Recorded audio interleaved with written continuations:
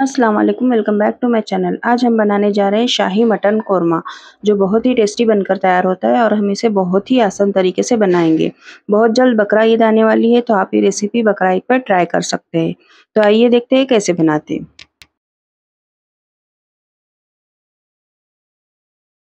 चलिए शुरू करते हैं। बिस्मिल्लाह बोलकर यहाँ पर हमने 500 ग्राम मटन लिया है, इसको धोकर अच्छे से साफ़ कर लिया है।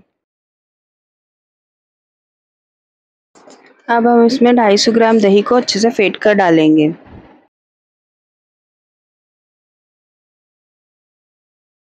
अब हम इसमें एक चम्मच अदरक लहसुन का पेस्ट डालेंगे। आधा चम्मच हल्दी पाउडर डालेंगे। एक चम्मच लाल मिर्च पाउडर डालेंगे।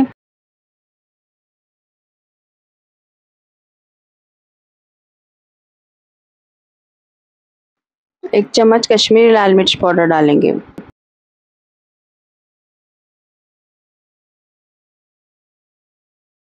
आधा चम्मच ज़ीरा पाउडर।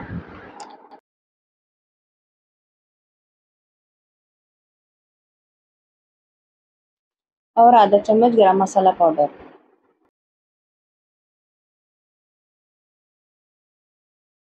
डेढ़ चम्मच धनिया पाउडर डालेंगे।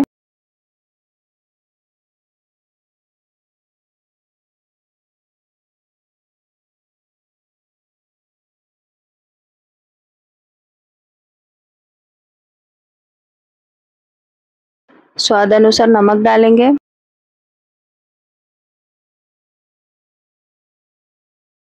इन सभी चीज़ों को अच्छे से मिक्स कर लेंगे।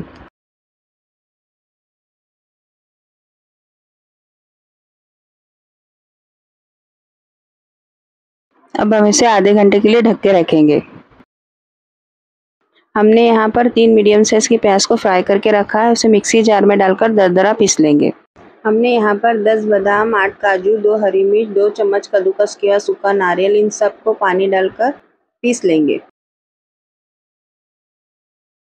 गैस पे हमने कुकर रखा है, उसमें चार चम्मच तेल डालेंगे। तेल के गर्म होते ही उसमें कुछ खड़े मसाले डालेंगे। खड़े मसालों में हमने लिया है दो तेज़पत्ता, एक टुकड़ा दालचीनी, चार लवंग, एक जावित्री, एक बड़ी इलायची, चार से पाँच हरी इलायची, इन सबको हल्का सा फ्राई कर लेंगे। अब हम इसमें मैरिनेट किया हुआ मटन ऐड करेंगे।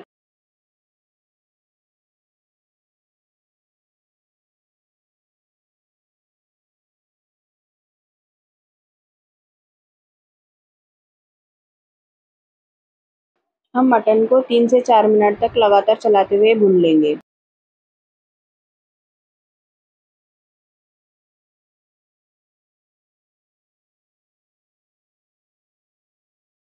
अब देख सकते हैं, हमारा मटन अच्छे से भुन चुका है, तेल ऊपर आ गया है, अब हम इसमें काजू बादाम का जो पेस्ट तैयार किया था वो डाल देंगे।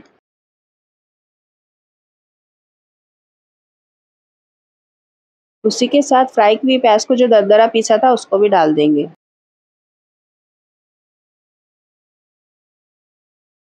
सभी चीज़ों को अच्छे से मिक्स कर लेना है।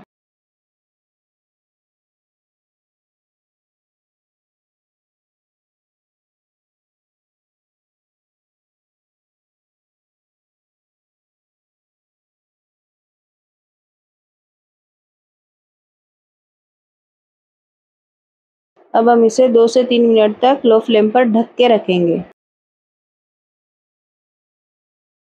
आप देख सकते हैं, हमारा मसाला अच्छे से भून चुका है, तेल ऊपर आ गया है।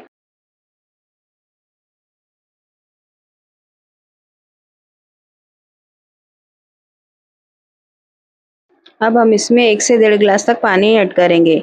आप अपने हिसाब से जितनी ग्रेवी चाहिए, उतना पानी ऐड कर सकते हैं।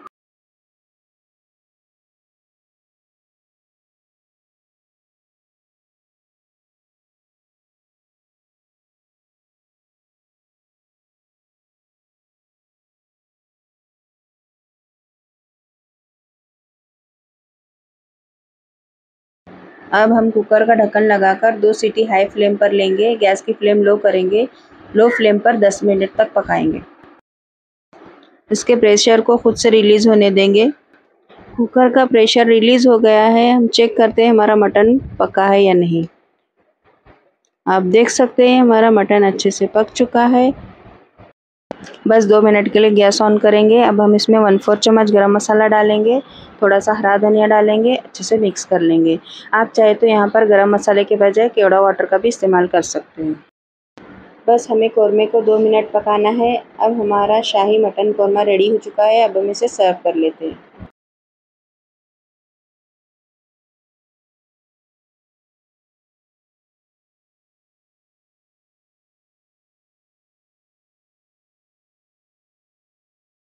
अगर आपको हमारी रेसिपी अच्छी लगी तो लाइक शेयर सब्सक्राइब ज़रूर करें। बेल आइकन दबाना मत भूलना। कमेंट में ज़रूर बताना कैसी लगी हमारी रेसिपी मिलते हैं आपसे नेक्स्ट रेसिपी के साथ। तब तक के लिए अल्लाह हाफिज़।